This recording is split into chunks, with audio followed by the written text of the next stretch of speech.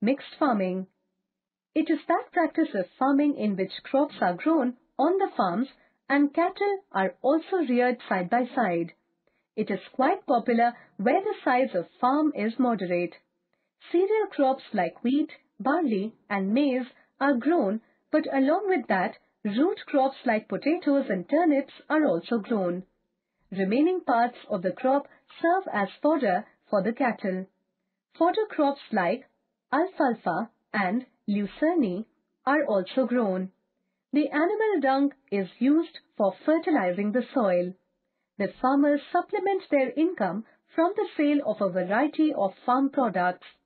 Mixed farming provides greater security than cultivating a single crop over a large area.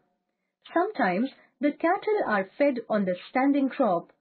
Animals need daily attention and thus family labor is fruitfully utilized.